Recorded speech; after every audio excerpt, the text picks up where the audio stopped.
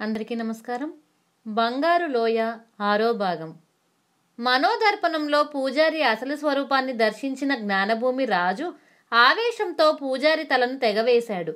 మనోదర్పణం ద్వారా రాజు వినోదుడి మంచి మనసును గ్రహించి విషవాయువులు చిమ్మే పర్వత శ్రేణులు దాటడానికి అతనికి అదృశ్యమయ్యే రహస్యం ఉపదేశించాడు.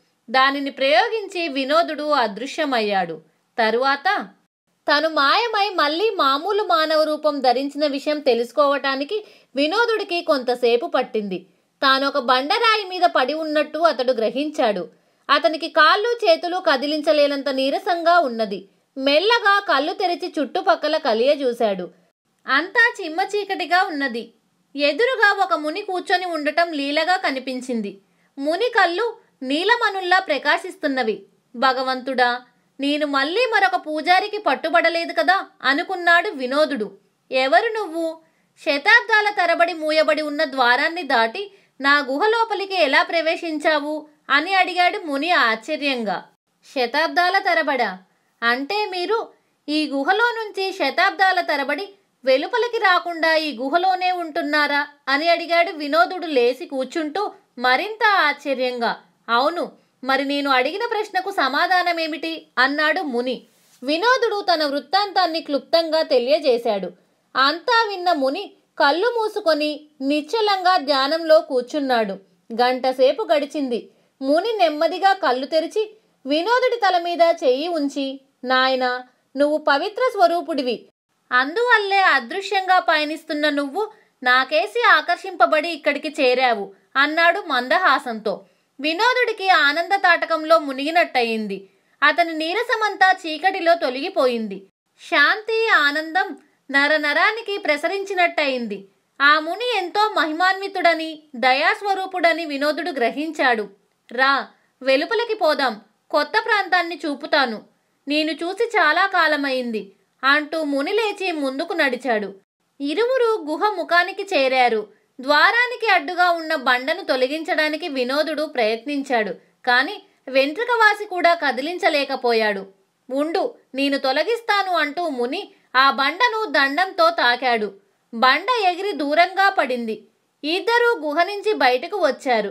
గుహ కొండపైన ఉన్నది. కొండకు దిగువ భాగంలో ఒక అందమైన పట్టణం కనిపించింది. భగవంతుడా గుహ చుట్టూ ఉన్న అందమైన చెట్టు చేమలు పక్షులు ఏమయ్యాయి? కొండ చుట్టూ ఉన్న అరణ్యమంతా ఎలా మాయమైంది అని ముని మనసులో అనుకుంటూ వినోదుడి కేసి తిరిగి ఆ ప్రాంత వృత్తాంతాన్ని వివరించాడు. ఆ ప్రాంతమంతా ఒకప్పుడు భయంకరమైన అరణ్యంగా ఉండేది. ఆ ముని తప్ప మానవ మాతృలెవ్వరూ ఆ పరిసర ప్రాంతాల్లో ఉండేవారు కాదు. రాజు పెట్టే బాధలు భరించలేక పేదవాడొకడు ఒకనాడు రాజ్యం నుంచి పారిపోయి ఆ కొండ ప్రాంతానికి చేరాడు. అతన్ని ఆకలి దప్పులు విపరీతంగా బాధించసాగాయి. అప్పుడు అతనికి పక్కనే ఉన్న చిన్న కొండ మీద కొన్ని పక్షులు కిలకిలమంటూ ఒక పుచ్చకాయను తింటూ కనిపించాయి. అతడు వెంటనే కొండ మీదికి వెళ్ళి పక్షులు సగం తిని వదిలి వెళ్ళిన పుచ్చకాయను అందుకొని ఆవురావురని తినేశాడు. అతని ఆకలి దప్పులు తీరాయి. ఆ తరువాత అతనికి ఒక అనుమానం కలిగింది. ఇంత పెద్ద పుచ్చకాయను అంత చిన్న పక్షులు ఎలా ఎత్తైన ఈ కొండ మీదికి మోసుకురాగలిగాయి? ఇలా ఆలోచిస్తూ అతడు పరిసర ప్రాంతాలను పరిశీలనగా చూశాడు. పక్కనే ఒక తీగ కనిపించింది. ఆ కొండ మీదే పుచ్చకాయ కాసినట్టు గ్రహించి ఆశ్చర్యం చెందాడు. బండరాళ్ళతో ఉన్న ఈ కొండ మీద పుచ్చకాయ ఎలా పండుతుంది అని ఆశ్చర్యపడుతున్నావా అంటూ అక్కడికి వచ్చాడు దాపులనున్న గుహలో నుంచి ఒక ముని. అవును స్వామి అన్నాడు పేదవాడు. నేనే నా యోగా శక్తితో రోజుకొక పుచ్చకాయను సృష్టించి పక్షులకు ఆహారంగా పెడుతున్నాను అన్నాడు ముని. అలాగా? అయితే నన్ను కూడా ఒక పక్షిగా మార్చేయండి మహాత్మా. మీ దయ వల్ల పుచ్చకాయను తిని బతికిపోతాను అని ప్రార్థించాడు పేదవాడు. అంతెందుకు కాని కావాలంటే నీకు సరిపడా పుచ్చకాయను పెద్దదిగా సృష్టిస్తాను అన్నాడు ముని. మహాప్రసాదం అని పేదవాడు మునికి చేతులెత్తి నమస్కరించాడు. అయినా అతని ముఖంలో విచారం కనిపించింది. నీ ఆకలి సమస్య తీరింది కదా ఎందుకు ఆ విచారం? అని అడిగాడు ముని. ఇంత గొప్ప ఉపకారం చేసిన తమకు ఎలా కృతజ్ఞతలు తెలియజేయాలో తెలియడం లేదు. అది నా మొదటి విచారం. నా ఆకలి సమస్య తీరింది కానీ నా కుటుంబం గతి ఏం కావాలి? అది నా రెండవ విచారం అన్నాడు పేదవాడు. నీ కుటుంబాన్ని కూడా ఇక్కడికి తీసుకురా. వాళ్ళకు సరిపోయేలా పుచ్చకాయను సృష్టిస్తాను అన్నాడు ముని. పేదవాడు తల వంచి నమస్కరించాడు కాని అతని ముఖంలో విచారం పోలేదు. ఇంకా ఎందుకు విచారిస్తున్నావు? అని అడిగాడు ముని మళ్ళీ. మీ దయ వల్ల నేను నా కుటుంబం ఆకలి బాధ నుంచి బయటపడగలం. అయినా ఇన్నాళ్ళు కలిసిమెలిసి ఉన్న బంధుమిత్రులను ఎలా మర్చిపోగలను మహాత్మా? అన్నాడు పేదవాడు. అదా నీ విచార కారణం. నీ కుటుంబంతో పాటు నీ బంధుమిత్రులందరినీ ఇక్కడికి తీసుకురా అన్నాడు ముని. కరుణా స్వరూప నేను ఇక్కడికి తీసుకువచ్చే నా కుటుంబము బంధుమిత్రుల సంఖ్య క్రమంగా పెరుగుతుంది కదా. అలా పెరిగే జనాభాకు ఒక్క పుచ్చకాయ ఎలా సరిపోగలదు అన్నదే నా అనుమానం అన్నాడు పేదవాడు.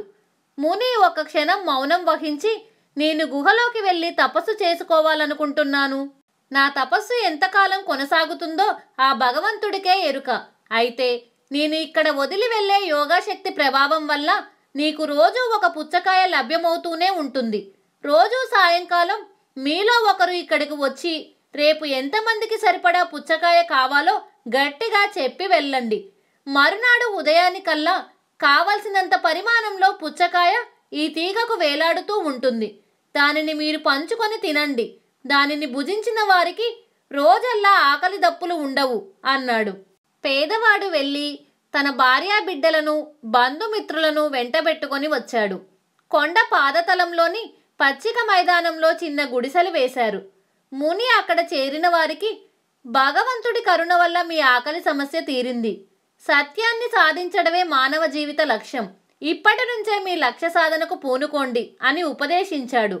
వాళ్ళకి ధ్యాన పద్ధతులు నేర్పించి ముని కొండ మీది ప్రవేశించి తపస్సు చేయడం ప్రారంభించాడు. శతాబ్దాలు గడిచిపోయాయి.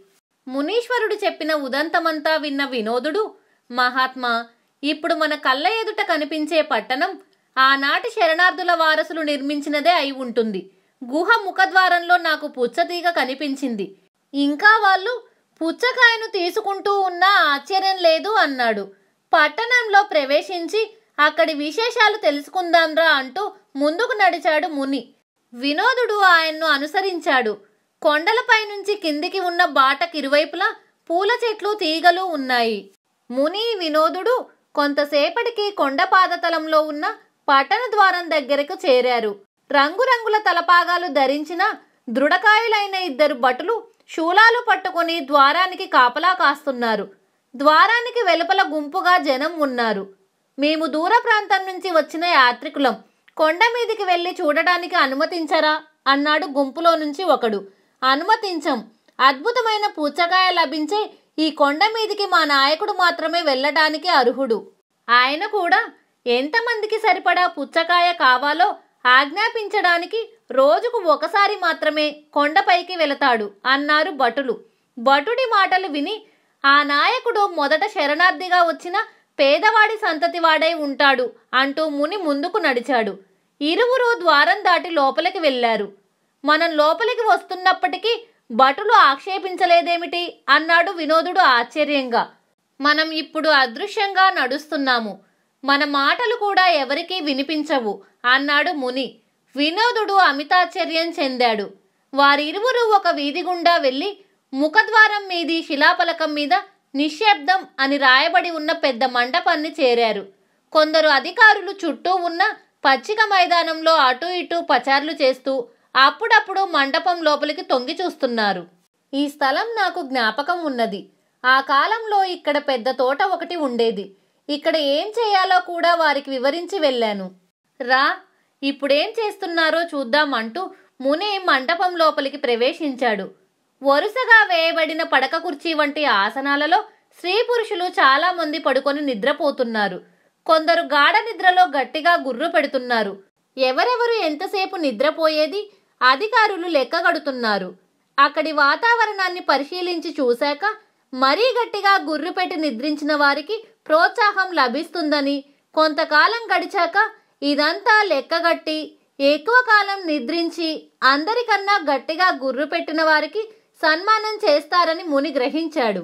ఆయన కోపావేశంతో అక్కడ ఆదమరిచి నిద్రపోతున్న వాళ్ళను జుట్టు పట్టి లాగి కిందకి తోశాడు. వినోదుడు కూడా మునిని అనుసరించి అలాగే చేయసాగాడు.